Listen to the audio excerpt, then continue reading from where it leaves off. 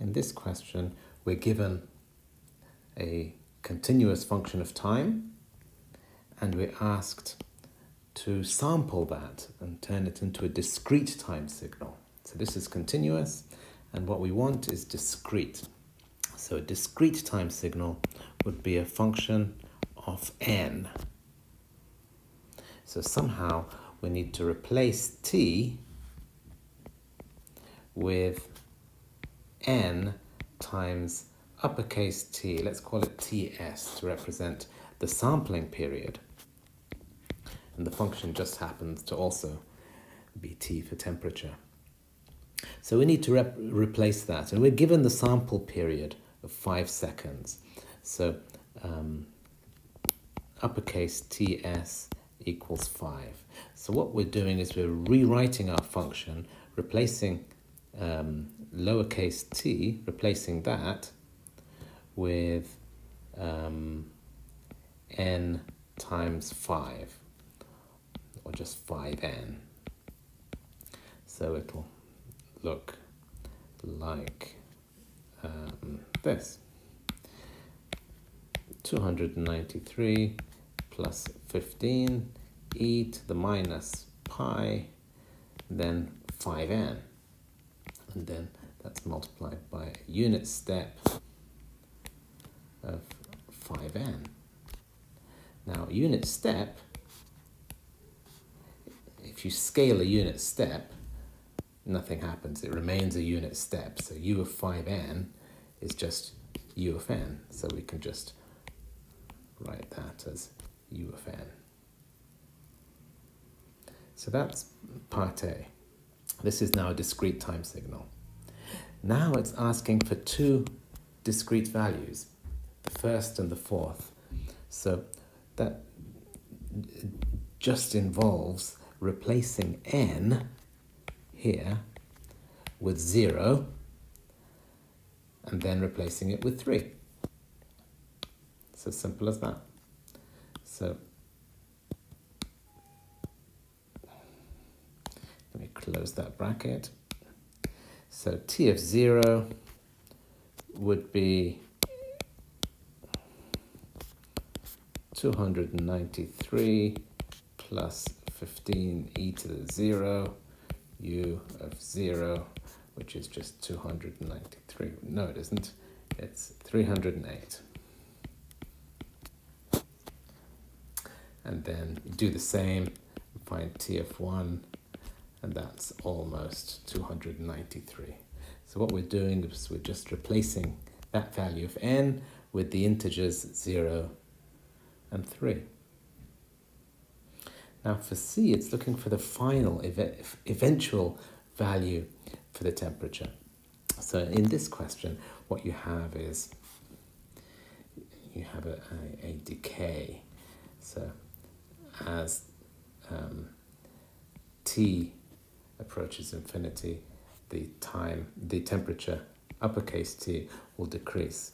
And because this is now discrete, we can replace that with n, and then you have these samples,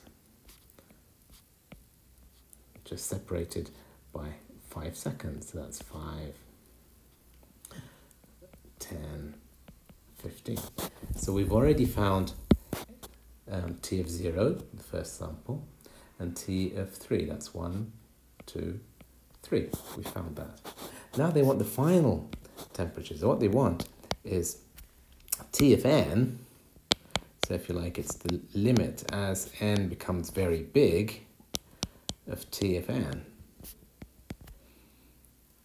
And you can see, because we've got this, sorry, we've got this term here, it's the e to the power minus n and e to the power minus n will approach 0 as n approaches infinity.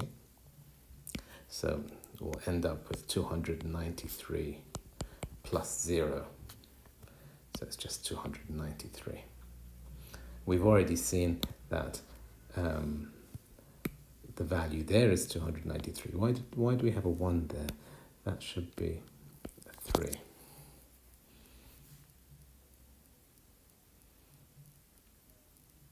Okay, for the next part of the question, it's saying estimate the Nyquist rate.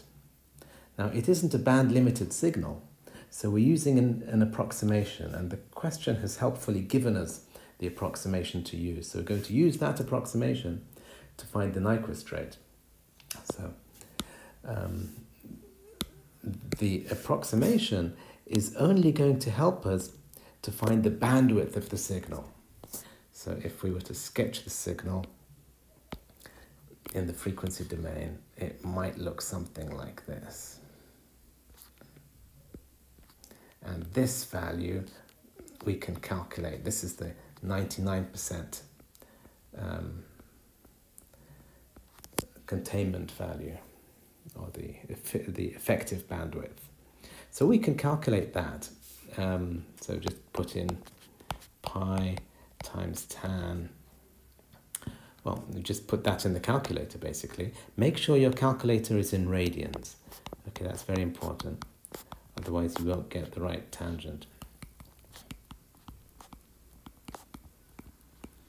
Okay, so that will give you something very close to 200 radians per second. Okay, so that's useful, that's that value there.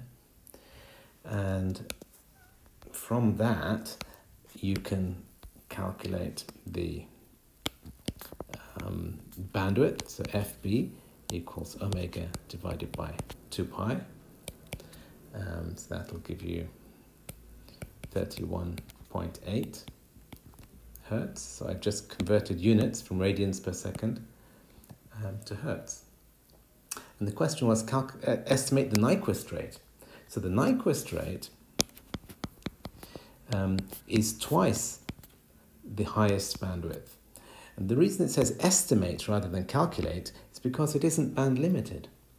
So we're estimating using the 99% containment bandwidth. So that's um, 63.6 hertz. And it says comment on the sample rate used above. Well, the sample rate used above was five seconds. So um,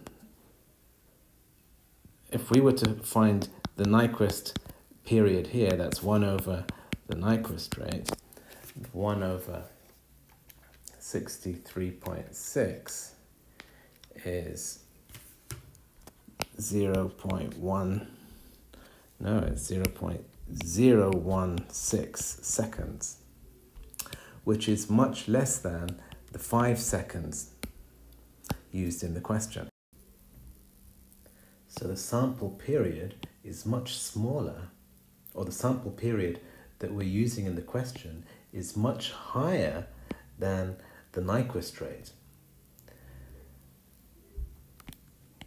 In this case, if we want to find the sample rate, that will be 1 over 5, which is 0 0.2 hertz. So the 0 0.2 hertz is much smaller than the Nyquist rate. So what do we call it when our sample rate is much smaller than the Nyquist rate? So the sample rate is smaller than the Nyquist rate. We call that undersampling. So we will definitely suffer aliasing effects and we, we, we will be unable to recover the original temperature variation after sampling. So this is called undersampling. The question asked to comment on the sampling rate used. We can say this is undersampling because it is less than the uh, Nyquist rate of 63, 63.6 hertz.